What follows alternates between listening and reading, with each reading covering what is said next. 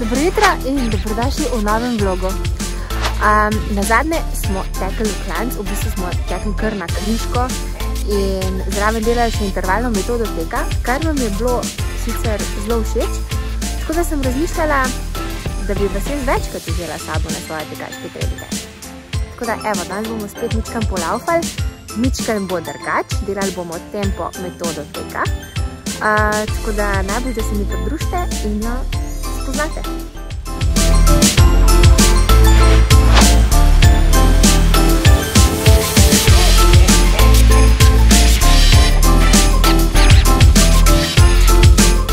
Pa glede na to, da smo v TNP-ju, ne pozabite kuške na vrbice.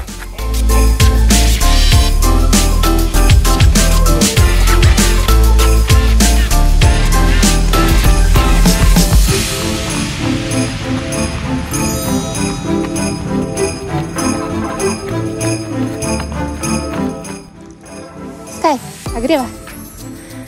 Evo, za nama je cirka 15 minut ogrevanja.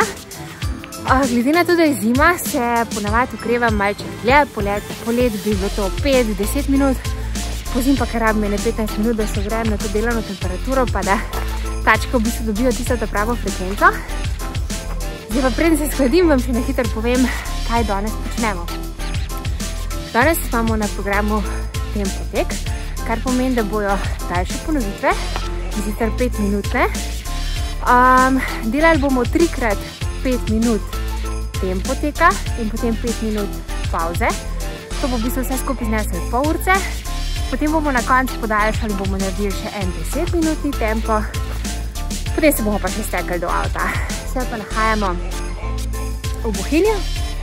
In tukaj krok je cirka 12 km, tako da je njih idealna trasa, da nam malo treba večkrat po isti trasi, ampak bomo naredili en krok in bo tam manj. Tako da evo, šibam prednje zazebe.